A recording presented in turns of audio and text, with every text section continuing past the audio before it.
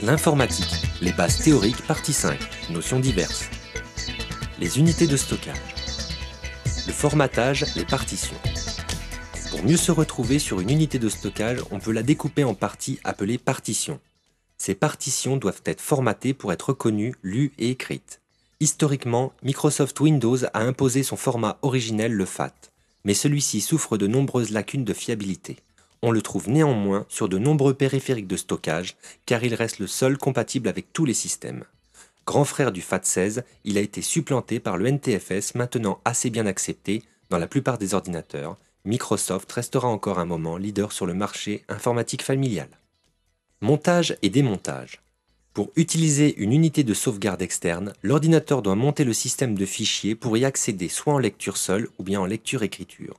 L'utilisation ne pose alors aucun souci, mais dans le cas d'une unité réinscriptible, comme un disque dur ou une clé USB, il est préférable de s'assurer qu'aucune écriture n'est effective au moment de le débrancher. On parle alors de démonter un lecteur. L'expression retirer sans risque est souvent marquée dans un menu. En bas sur Microsoft Windows, à droite sur Linux Ubuntu. L'arborescence. Sur une unité de sauvegarde, on trouve des dossiers et des fichiers. Dans les dossiers, d'autres dossiers, et d'autres fichiers. Dans les dossiers des dossiers, à nouveau d'autres dossiers et fichiers, etc. La ressemblance avec un arbre explique le nom d'arborescence. Chaque fichier ou dossier suit alors une route qui définit sa position qui peut être absolue ou relative. Pour mieux s'y retrouver, on nomme les dossiers et fichiers avec des noms facilement compréhensibles et repérables. Position absolue ou relative.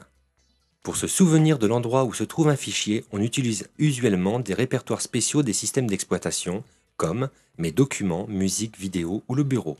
On parlera alors de sa position relative, car cette position considère le répertoire spécial comme point de référence.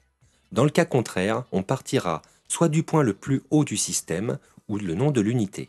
On trouvera alors pour pointer sur le bloc-notes de Microsoft Windows c2. backslash windows backslash notepad.exe ou sur Linux un fichier de configuration slash etc slash défaut timidity. Les extensions de fichiers. Dans un nom de fichier, le point est utilisé indifféremment comme les autres lettres acceptées, mais les lettres qui suivent le dernier point nous donnent ainsi qu'au système des informations sur le type du fichier. Par exemple, fichier.txt sera certainement un fichier texte simple sans mise en forme. Les extensions sont très utiles pour comprendre l'ouverture d'un fichier. Aujourd'hui, MP3, PDF, Doc, HTML et bien d'autres formats sont devenus tellement courants que les débutants confondent le type et les associations de programmes. Windows cache par défaut ces extensions qu'il faut rétablir absolument pour en garder l'habitude et choisir le programme qui servira pour l'ouverture simple ou la modification. Une fois les extensions rétablies, il faut prendre soin de ne pas les changer lorsqu'on renomme un fichier. Les opérations sur les fichiers. Une grande partie du temps sur l'ordinateur est l'administration et le rangement. Les éléments s'accumulent et il faut régulièrement organiser ces espaces pour retrouver ces petits. Un choix simple est de multiplier les sous-dossiers pour organiser sa pensée et anticiper le moment où l'on cherchera le fameux document de la réunion de mai dernier sur la concentration de stupidité dans les grandes agglomérations humanoïdes. Ici, les écoles sont légion et on entend même de laisser tout en vrac et de faire confiance au système de recherche intégré. Si vous savez vous organiser, vous retrouverez toujours vos petits. Une solution est de partir d'un type, document, puis de sous-typer. Professionnel, 2011, 05, réunion, s'il y a beaucoup d'éléments à l'année. Ou alors, professionnel 2011, réunion 05, s'il y a beaucoup de réunions, ou d'autres éléments. Si on sait que l'on recherche un document professionnel de 2011, on aura déjà fait une bonne partie du chemin qui accélérera la recherche automatique si on est obligé d'y recourir. Notion, avoir le focus ou à qui je parle. Une dernière bonne habitude à prendre tout de suite est de vérifier continuellement à quel programme ou objet je donne mon ordre. Dans les feuilles de texte ou formulaires, cherchez le curseur qui clignote, la fenêtre qui se trouve devant les autres, les icônes s'enfoncent ou se colorent quand on clique dessus. Lors d'un glisser-déposer, on verra la destination passer en avant si on prend le temps d'attendre avant de lâcher le doigt. Notion enregistrer, enregistrer sous, ouvrir. J'ai bien travaillé mais je veux garder mon œuvre pour en faire profiter le plus grand nombre. Il faut enregistrer. Avant de tout fermer, dans le menu Fichier se trouve la fonction Enregistrer sous qui permet de sauvegarder votre œuvre dans un fichier. Enregistrer sous signifie sous un nom et sous un dossier. Implicitement, cela inclut aussi une extension qui indique le type de contenu du fichier. Une fois cette première sauvegarde effectuée, vous pouvez continuer à modifier votre travail sans oublier de faire Fichier enregistré ou bien CTRL plus S de temps en temps pour être bien sûr d'avoir la dernière version enregistrée. Une petite astuce. J'ajoute un nombre, par exemple 001, à la fin du nom de mon travail, que j'incrémente de temps en temps en faisant un nouveau enregistré sous. Je me retrouve alors avec mes fichiers suivis de leur nombre 001, 002, 003, au cas où je déciderais de reprendre mon travail à un niveau inférieur. De temps en temps, je supprime les premières sauvegardes pour n'en garder que les deux ou trois dernières. Le glisser-déposer ou drag and drop.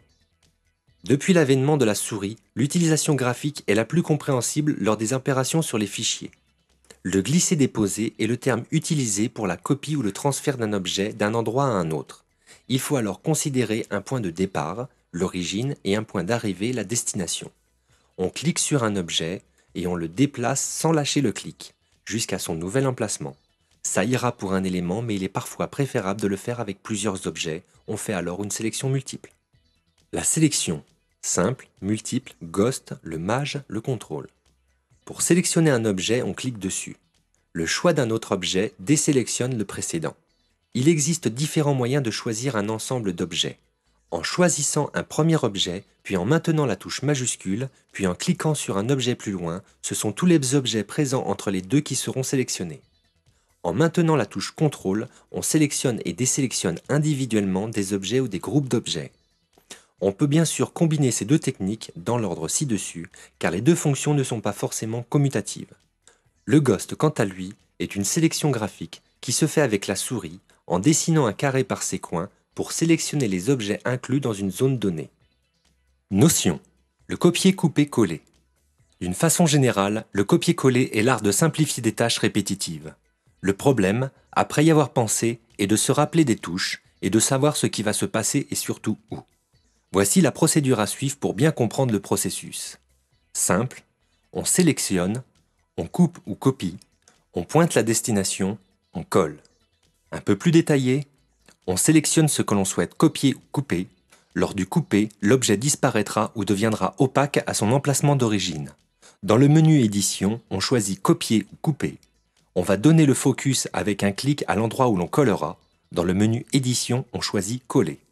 Pour éviter les menus, on peut utiliser les raccourcis clavier, couper CTRL plus X, copier CTRL plus C, coller CTRL plus V.